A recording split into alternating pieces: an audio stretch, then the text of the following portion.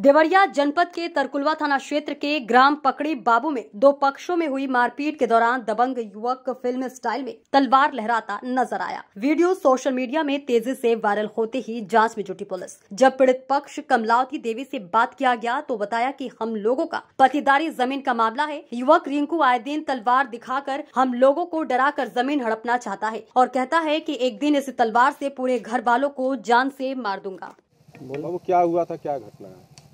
घटना यही था कि वो लोग गाली दे रहे थे और हम लोग को मारने आ गए तलवार और लाठी डंडा लेकर पाँचों लोग। और एक दो सौ इक्यावन में कौन लोग थे जो मारने आ गए क्या नाम है उनका? रिंकू पिंटू अरविंद मकुरदान और मंटू। कौन से गाँव के रहने वाले हैं पकड़ी बाबू। कैसा विवाद था ये? ये विवाद जमीनी मैटर था। उसके बाद वो ज़्यादा दिन हो गया था। उसके बाद ये लोग सब बाहर से आए हैं मारने के लिए हम लोग। अच्छा जो तलवार लहरा रहा है उस पर पुलिस ने क्या करवाई? उसको हम लोग वीडियो दिखाएँ एफ़ आई आर हुआ उसके बाद उसका जमानत हो गया। एक सौ इक्यावन में।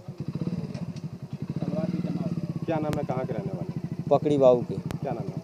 हमारा मनीष यादव। क्या मामला है चाची? कैसा मारपीट हुआ है? वो ज़मीन के झगड़ा दुआरी पे आके तलवार लेके हमनी के माई दिया के काटत रहना। कौन है तलवार लेकर काट रिंकू नाम है।